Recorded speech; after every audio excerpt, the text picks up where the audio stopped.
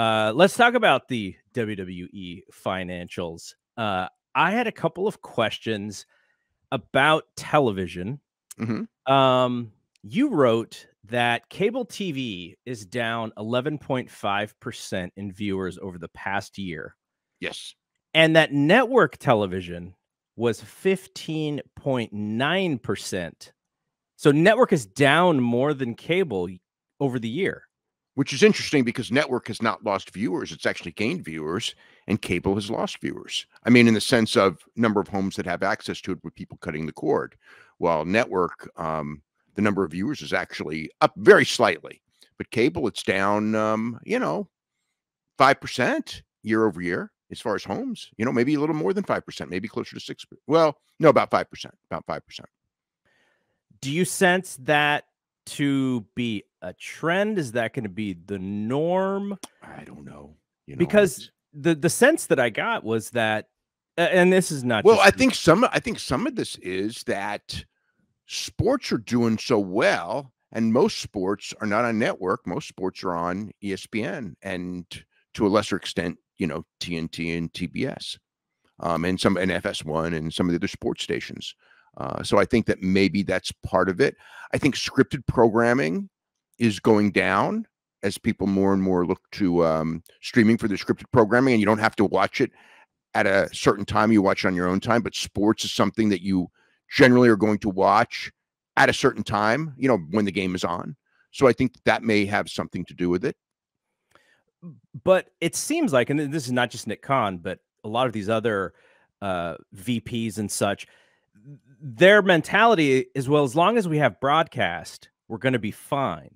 But those numbers, and broadcast is still in in, in more homes, but those Right. numbers, it looks if what you said is broadcast looks to be going down a little bit more quickly. But it's still much bigger than cable. I mean, Right. as far as like, you know, a, a show. I mean, look at we just saw it last week with with SmackDown. I mean, and the difference is is actually staggering. SmackDown did what 40 for just over 40% of what it usually does. I mean, it's not like it did um, you know, 70%. You know what I mean? It did like was did o- just a little over 800, right? And um it's usually doing over 2 million. That's a big difference. That's big. That's a that's actually a really big difference. And I mean, some of that's the World Series too. But you know, I mean, ten percent of that's probably the World Series, but but not the the not the other you know uh sixty. You know, the other fifty percent is not the World Series. Uh, and then uh, you know, there's another comment that uh, I believe it was Nick Khan who made it. He said that uh, the NFL's demos are younger on Amazon, and I've heard that from other places. Oh yeah, yeah, yeah, yeah. M- A- M- NFL on Amazon is actually skewing younger than um almost anything. I mean, the NBA is the youngest skewing. Um, soccer is very young as well. Um, AEW used to be in the same realm as both of those, and AEW has skewed older to where it's it- you know before it'd be like the LeBron games would would be younger than AEW. Now it's most NBA games, and before it would be one or two soccer games a week. You know, with like the real famous teams. Now it's a lot of soccer. But AEW is still younger than pretty much everything else. But NFL on Amazon is is also um, you know, it's it's a lot younger skewing. And I think that um Amazon is going to be younger skewing the network television across the board. Just I think that's just a, a natural aspect of it. But it it's still um it's not like the Amazon does more viewers 18 to 49 than Monday Night Football on ESPN or anything like that. You know what else is young skewing though is the uh, the Manning cast. hmm You know, so that's a football thing that's that's and it's equally as young skewing as the the Amazon Prime Thursday game. Is is what why why is that? Are we are we saying because more younger people are Younger people are more likely streaming? to to watch streaming, and older people are more are way way way more likely to watch network television. I think So- there's that's that's part of it, and then cable is kind of the in the in between the two. Does that mean that WWE's content on Peacock is younger than on cable? We have no evidence of that, but I would bet a lot of money that that's the case. Because he didn't say that specifically, uh, or that I haven't heard them mention that. They've at never said they've never said that, but um, I would bet that that's the case just because of uh, you know, natural logic, so to speak. Um, so And I would I would suspect that the AEW pay per view audience skews much lower than Dynamite and Rampage for the same reasons because it's streaming for the Right. most part. You know, rather I mean, some of the pay per view is uh, television, but um, two thirds of the of the pay per view pie is is streaming now. Which, by the way, we should, we should talk about Anderson Silva and Jake Paul later too. yeah, I mean, let's talk about it now. I think it fits the conversation. I know that you had said that your numbers for the for the cable pay per view were really low. 30,000, 31,000. Yeah, really, really low. Um, it's it was down, um, uh, you know, significantly from the second Woodley fight, Mhm. and this fight should have been bigger. So, you know, picked up a good friend by the way this week. It's people who weren't people people who uh, didn't want, uh, uh, you know, people who were uh, just wanted to point out that uh, Anderson and uh, Jake Paul didn't do nearly as well. Jake Paul said it did terrible, but it did more terrible than Jake Paul said.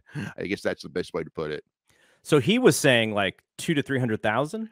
Yes, he was saying two to three hundred thousand, which he which he was lamenting and saying was terrible, and thought Halloween week was bad and football season's bad, and kind of saying like, you know, from now on, I want to do my big fights in the summer when there's not all this competition.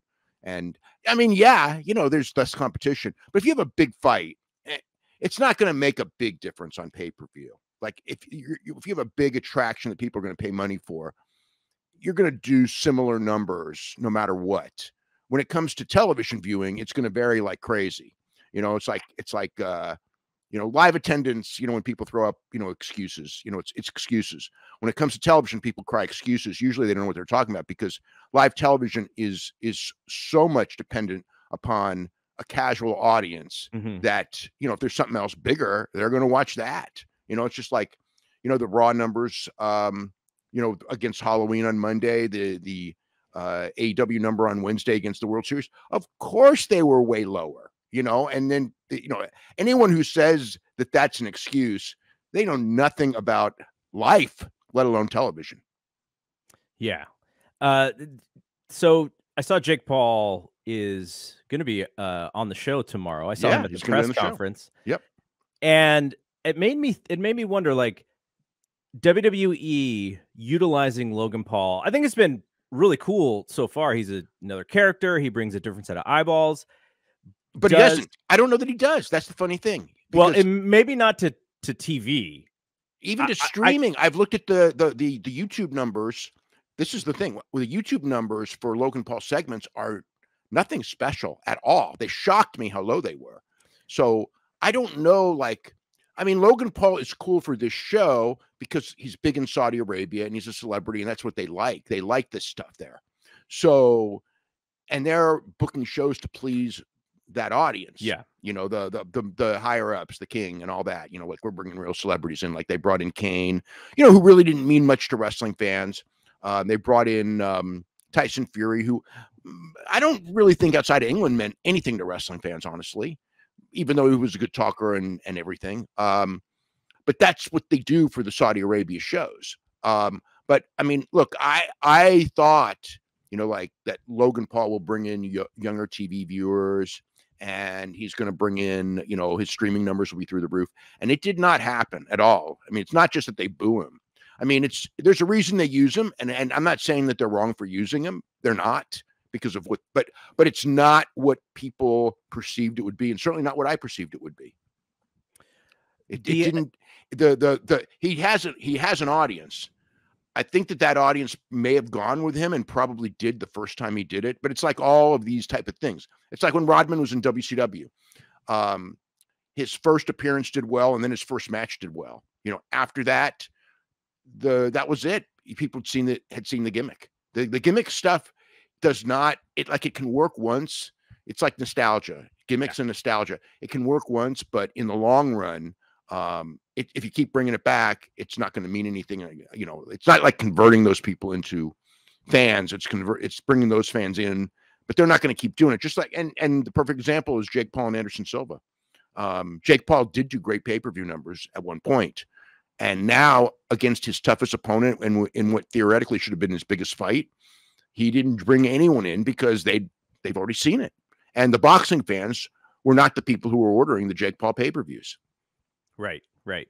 Yeah, I mean that the whole the whole thing is hopefully a great learning experience on everything's know. a learning experience. You know what? One thing at the at the um car at the investors call on uh, Wednesday that I was I found to be really refreshing, and it was uh, from Paul Levesque, and he was talking about how you know we're we're thinking these ideas out of the box and we're going to do them, and he just goes, some of them are going to fail, and that's okay because every time we fail, we learn something.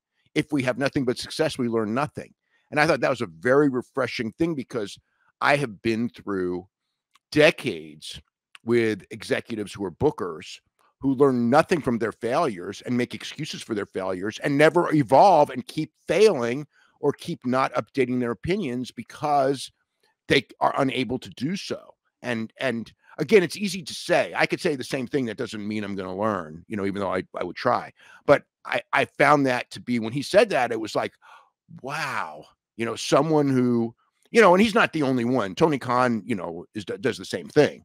But to say it publicly, it's like, look, we're going to have our failures and we're going to learn from them, and this is one of them. You know, this this Logan Paul thing. Not that it's a failure because of Saudi Arabia, but as a television thing, um, you know, I can't call it a success. You know, the ratings. Bray Wyatt's a success, mm-hmm. and they're going to do a lot more of the Bray Wyatt stuff. However, just as I said, they keep doing this, you know, game thing and it worked like crazy on a certain shows you know the september 23rd smackdown the october 10th raw uh, extreme rules those shows did great because of bray wyatt if they keep going to that same type of marketing they're not going to have the same results right they have to do something different all the time they you know so it's it's like it's a learning experience to do it again yes you do it again but you also have to know you will not have the same success doing it again and there's other ideas that you have to do but you don't throw this one out completely because it did work. Right. Yeah, we'll talk about Crown Jewel here in a second. I just want to ask a couple more questions about uh, about the uh, the the financials. So one of the uh, the things was again talking about Amazon and and the streaming that they're doing the deal with the NFL, but Nick Khan specifically said he didn't think you could sort of simultaneously have broadcast and cable and streaming and sell them differently and sell yeah and sell them in, in, in different yeah, packages. Basically, people want the exclusive, right? Yeah, yeah. and they, and they don't they they would rather have their product Raw and SmackDown on broadcast and cable at this point because of where the eyeballs are. Yes, but that's changing. I think that the NFL success would tell them don't be scared of streaming. I would not want both shows streaming. I would definitely want one of them. But if you got a great offer like a couple of years ago, if you had the great offer, I would say, mm, you know, your business is depending on other things. You know, you got your live event business, you got your merchandise business, and all that. So the exposure is the king, and and and go on Fox, right? Um, you know, Fox wasn't the success that we thought it would be. It was not a failure, but it was not the success. It did not create a boom period. The Fox numbers are not, you know, 1.0 in 18 to 49 or even close, which was the numbers that they were talking about you know, um, in 2019 when this deal started. Um, so, you know, it's like they're. Um, I don't think that you're you're locked into it. If all things are even and money is even, yeah, of course you go with network TV. Yeah, still, um, but it's evolving, and you know, ten years from now the answer might be different. But but for now, you would still go network number one. Um, probably cable number two and streaming number three if if all three offers are identical um five years from now maybe no maybe that changes it depends when the uh, amazon numbers and we're going to know i'll tell you when we know when the amazon numbers for thursday night football beat sunday night football then we know when it beats monday night football then we know so we're going to have it like we're going to know when that those numbers cross. We're going to know that. We're going to know when it crosses with younger viewers, which will be quicker than when it crosses in total viewers. And I think that you make the move when it crosses with younger viewers is the key is the number that you're looking for, not the total viewer number when it comes to that. So when the 18 to 49 number for the Thursday night game, which is probably something that we should be monitoring um, going forward, you know, and and I probably will, is when that 1849 number is comparable to Monday Night Football. And when it is, uh, things have changed. The other thing about streaming, though, is it's not like on broadcast television where if you're on Fox or you're on NBC or on CBS, you're essentially on in the same amount of homes. Amazon and Netflix are going to be in a far more a far larger number of homes than something like Peacock. Oh, Peacock oh, absolutely. Is, absolutely. Peacock is like, I don't know, 20% of the US and Canadian homes of uh, Netflix uh, or something um, like no, that? No, Peacock's not even in Canada at all. But um, Peacock has uh, 15 and a half million subscribers right now. But there's more than that who have access to it. But they probably have, um, you know, in the 20s as far as because a lot of people get it for free. So it's probably half of Netflix or a third. I'd have to check on the Netflix number. But yeah, it's it's way, way less. Absolutely. And so, so yeah, so so if Peacock would want if it if if the idea was of putting Raw on Peacock, no, no, no, we're not ready for that. No, I mean, again, maybe in ten years, but not now. No. Yeah, so that that's the other part of it is the streaming companies. They're all you know they're all shooting for the same pie essentially. Yeah. And you know your Netflix's, uh, HBO Netflix Maxes. Is, are, yeah, are the ones who are getting a little bit bigger of share. But you also, you know, what I what I noticed uh, recently. Uh, do you know do you understand how Pluto TV works? Not really. So Pluto TV, and there are other versions of this. Is basically, it is basically television how we grew up, or I would say cable how we grew up, with all commercials. It's all commercials. So uh they, they have all these channels like let's say you wanted to watch well i know about all the channels on pluto yeah the threes company channel essentially right you just watch threes company like all day throw on in the background but those channels i forget which one it was it finally broke into like the top 10 of, of all the streaming so even those networks are kind of creeping on the the piece of the pie and like i don't know anybody who exclusively watches those it's mostly to watch something. Some wrestling companies have uh, content on, on, those channels as well. But uh, but even those are growing, which is which is kind of amazing to me because I never imagined like going to a website to watch a TV network without with, with commercials. But then again, if you have pulled the plug and you are not cable and, and uh, you don't have cable at all, that may be a good alternative. So that's actually pretty interesting as well. Yeah. Um, okay so let, us go back to the to the white rabbit thing you mentioned and, and that was kind of my thought was you know you can't go to this well uh, too often because then you know you're sort of repeating and it's not going to work a- as well but i do wonder because they kept bringing it up and deservedly so patted themselves on the back for it mm-hmm. um uh, how many uh, like uh, creatively like how often can you go to that thing i would imagine wrestlemania if you're gonna Man. debut a surprise or someone's going to come back you could do something but i can't you can't do the bray wyatt thing because that's a specific character who you know you can do that stuff for but it doesn't work for every type of character yeah i mean i don't know i don't think you can do it three i don't think you can do it you can do it twice a year and maybe three i don't think you can do it four but that's trial and error too we'll have to learn yeah yeah um, so but they'll probably do it too much and they'll probably do it well, they will do it to the point that it stops working, whatever that point is, because that's just natural. And not just with wrestling, which it always does that, but with everything when it comes to television. When it comes to any gimmick that works in television, they beat it to death, you know, and, and do too much of it. And then it doesn't work anymore for until another generation comes around. And I'm not saying that this is something you only do, you know, once every generation, but, you know, you can't but I think they're smart enough. I, I, would think that they're definitely smart enough to know that we can't have a series of these things over and over and over again because if we do, yes, they will. People will just stop caring. But we can do it again now. We can set, definitely do it again um, at some point. You know, if it's in a couple months. Hey, if you're a big fan of Wrestling Observer Radio, we got 12,000 episodes of all of our podcasts up at our website, WrestlingObserver.com. If you sign up today, you get access to every single one of them.